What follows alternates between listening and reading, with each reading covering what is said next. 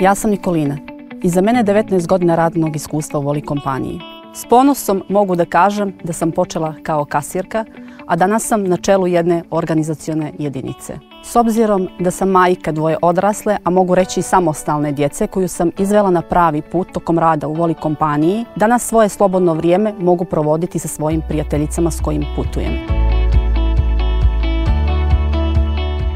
U Voli kompaniji bi preporučila nekom da radi jer nudi punu stabilnost i sigurnost. Imate punu podršku kolektiva kako kolega tako i menadžmenta. Kandidati sa radnim iskustvom ili bez radnog iskustva proći će edukaciju i postati dio Voli tima.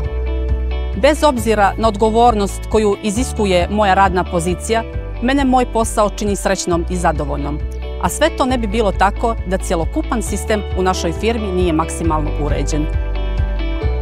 Voli, mjesto gdje vaš rad cijene više. Pridruži nam se.